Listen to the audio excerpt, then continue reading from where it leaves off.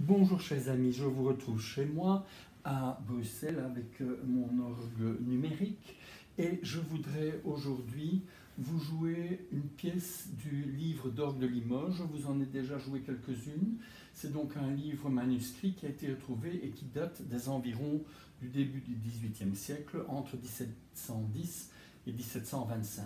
Alors, la plupart des pièces sont anonymes, on n'a pas retrouvé vraiment le, compositeur.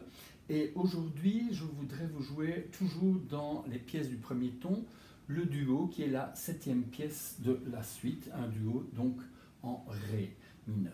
Alors je vous le joue sur un orgue banque son de l'orgue de Rotterdam, qui est un orgue Marcussen, car je n'ai pas encore de banque son d'un orgue classique français, ça viendra, mais bon. En attendant, ça ne sonne pas trop mal quand même sur l'orgue Marcussen de Rotterdam.